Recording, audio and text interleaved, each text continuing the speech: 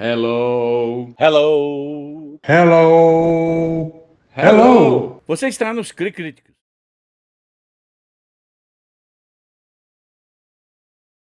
Oi, Greg. Aqui é o Rogério Victorino, do cricríticos.com. Tudo bem, querido? Tudo bem, querido? Muito prazer. Eu adorei o nome do Cri Críticos.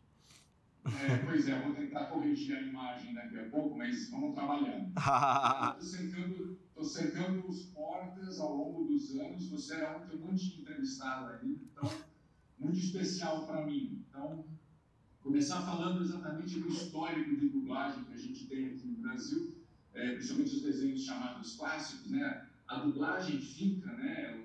As adaptações né, do inglês para o português, as músicas ficam.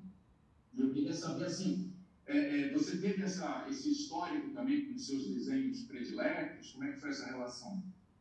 Muito, cara. Eu, eu sou fã de dublagem, claro, é, brasileira, desde sempre eu assisti tudo dublado. Não tinha nem essa opção quando eu era pequeno, né? Passava na televisão dublado mesmo. Mas mesmo hoje em dia, eu prefiro mil vezes assistir conteúdos dublados do que no original, porque essa tradição de dublagem é muito boa no Brasil. Acho que é um dos únicos países que as pessoas vão ver a coisa pelo dublador, às vezes. Um filme do Guilherme Briggs, as pessoas vão ver para ouvir a voz do Guilherme Briggs. E eu prefiro trocar para ver dublado os filmes, porque eu sei que vai ter. É, vai ser mais. Porra, vai ter mais a minha cara, esse negócio que eu vou gostar e que eu vou rir mais. Então, é, fica, para mim, é muito muito é, prazerosa essa relação de dublagem com animação. Então, eu sempre tive, sempre assisti muito. A gente vem de uma época em que a gente via desenho na televisão desde pequeno, né? Assim, desde cedo, acordava e ligava seja da manhã para assistir. E, e, e foi, eu vi amadurecendo a dublagem, porque é radicalmente diferente esse tipo de dublagem que a gente está vendo hoje do que o que passava isso na televisão quando já era criança. Não só em qualidade mas também de, de animação do trabalho, mas também dos roteiros. Então é um negócio legal que você vê todos os dias. Eu tô com filha pequena, quando ela gosta de um negócio, ela vê todos os dias. Aí você falou, fica na, na, no cotidiano dela, né? Quando a criança vê um negócio e gosta, ela não, não, não é igual a gente, que vê uma vez, se gosta muito, vê duas, mãe, vê três. A criança vê 72 vezes. Então tem isso que é um barato também, assim, de fazer dublagens, trabalhar com animação. Você vai virar um companheiro da vida da criança para sempre. É, e o bacana é isso, né? Acho que hoje, já, já há algum tempo, as dublagens elas não são feitas exclusivamente para o público infantil. Porque sabe que o público infantil vai para a sala de cinema acompanhado do pai ou da mãe, enfim. É, e aí precisa também entreter o cara, senão ele dorme, né? Eu tenho um histórico de Digimon, Pokémon, umas coisas assim que eu fiz um certo sacrifício, né? Você acho que você vai passar por essa experiência. São duas meninas, não? Duas meninas. Duas meninas, exatamente. Aí eu fico tentando puxar para coisas que eu vou gostar de ver também. Eu fico tentando evitar o Digimon, um pouco, tento não mostrar, porque eu sei que essas coisas é tipo droga. A criança pode ser melhor você não dar para ela, que ela vai ficar ali doente com aquilo. Então eu estou apresentando para ela umas animações boas, ela está adorando, por exemplo, é, o Miyazaki, né? Miyazaki, aquele o japonês maravilhoso. Do... Cara, ela está adorando aquilo. Ela, ela vê o Totoro, assim, quase diariamente. E é louco, porque é um negócio é, complexo, difícil, duro, triste, mas ela fica encantada com aquilo ali, muito presa. Então tem isso também, que é uma dica. Cara, criança só conhece as coisas que você mostra. Essa é a vantagem de criança. Então não faz sentido você ficar mostrando coisas para ela que você não quer ver pelo resto da sua vida. Então eu mostro ali o Totoro tem outro desenho também que ela adora, que é Max and Ruby, que é uma delícia, porque eu só apresentei para ela que a trilha é ótima, fica tocando um jazz no desenho e ela adora. Então, eu sou a favor de a gente mostrar coisa para criança que a gente toparia assistir ao lado dela, ou pelo menos toparia ouvir ao longe enquanto trabalha, alguma coisa assim. E esse filme é bem esse caso. O Lucky, acho que é esse filme. As crianças gostam e os adultos também. Alerta, alerta de spoiler. Não mostre Scooby-Doo, que parece que os dois caras viviam na larica. Ali, não sei se é uma boa coisa. De, eu descobri isso já era muito velho, viu? Infelizmente, eu marquei toca. Falando especificamente sobre o teu trabalho de dublagem, é, você chegou a ter contato, você chegou a ouvir a dublagem original em inglês? Isso te serviria de alguma coisa? Você se interessou? Você foi direto para o teu trabalho?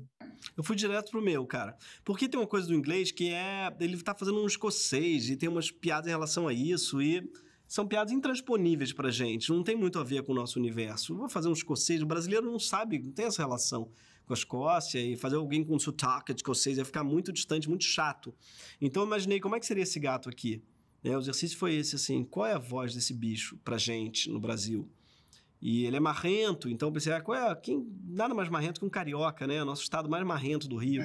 Então eu trouxe uma carioquice para ele, mas uma carioquice meio de antigamente, uma voz um pouco de, de, um, de, uma, de um gato que acredita que é um pouco mais, melhor do que os outros, mas ao mesmo tempo não dá para ter uma voz só num personagem que tem tantas emoções. Que o barato de um gato também, dublar um gato, é que ele passa por todas as emoções. Um gato tá aqui tranquilo, de repente voa e voa, e fica tranquilo, vem pro seu colo, e aí de repente um gato, ele ele não escala entre as emoções, não é? Ele passa de um para o outro num piscar, num, assim, num estalar de dedos. Então, o barato também de dublar um gato é isso. Você pode criar diversas vozes, porque tem diversos momentos diferentes. Eu, você falou, né, de tentar fazer o, o, o, o carioca mais antigo, tal. Eu senti isso bem orgânico, assim, na boa. Eu parecia que estava assistindo o seu programa.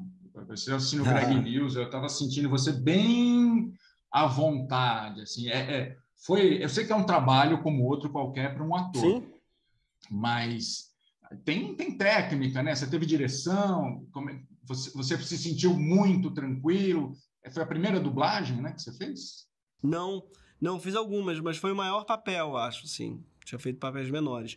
E foi muito bem dirigido. Quem dirigiu foi André Murucci, que é uma dubladora muito experiente dubladora, entre outros muitos, muitas atrizes, ela é a dubladora é, clássica da Julia Roberts. Então tem aquela voz que a gente conhece muito bem da sessão da tarde. Então ela me dublando parecia, ela me dublando, ela me dirigindo, parecia que eu estava sendo dirigido pela Erin Brockovich, sabe? Assim, por algum personagem daqueles da. Assim, uau, é, é uma voz muito familiar pra gente e é uma grande dubladora. Então, ela. E muito exigente. Ela ia, tipo assim. Ah, Gregório, vamos. Isso aqui você fez em 4 centésimos de segundos a mais.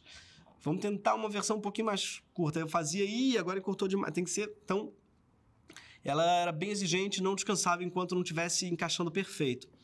Então foi bem, foi bem desafiador mesmo, mas ao mesmo tempo muito prazeroso, muito, imagina, é muito gostoso fazer dublagem por isso também, pelo desafio. Você a sua criatividade, ela tá sujeita a um labial de um bicho, de um desenho. Não, não tem muito espaço para você pirar demais. E isso é muito bom, muito gostoso. E, isso é outra pergunta, quer dizer, então é isso, não tem improvisação, não tem caco, não dá para brincar, tem que ser realmente de acordo com o texto, não dá para você fazer nada disso.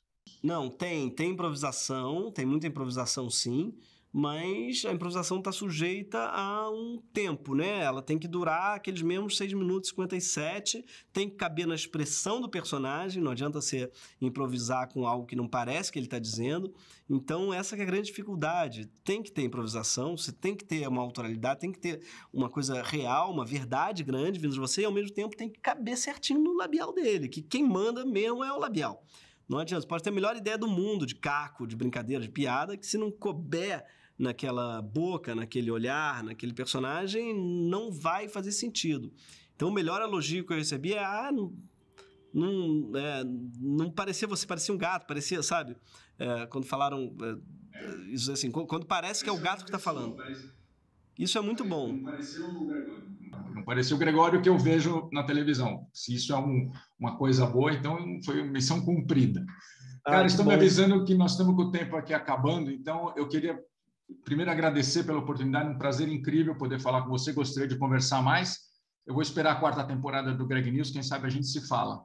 Mas eu queria Vamos. que você convidasse o público do Cri Críticos a conferir o Luck na Apple TV a partir de claro. 5 de agosto, se possível. Claro, querido público do Cri Críticos, não deixe de ver Luck, uma animação para crianças e para adultos também, eu pelo menos adorei. E tá no Apple TV Plus, que eu recomendo que vocês assinem, tem também um monte de coisa espetacular lá. Então não perca a partir do 5 de agosto, viu? E obrigado aí a todos do Cri Críticos. Obrigado, Greg. Tudo de bom para você, meu velho. Grande abraço. Você também, querido. Obrigadão, viu? Valeu. Até mais. Hello. Hello. Hello. Hello. Você está nos Cri Críticos.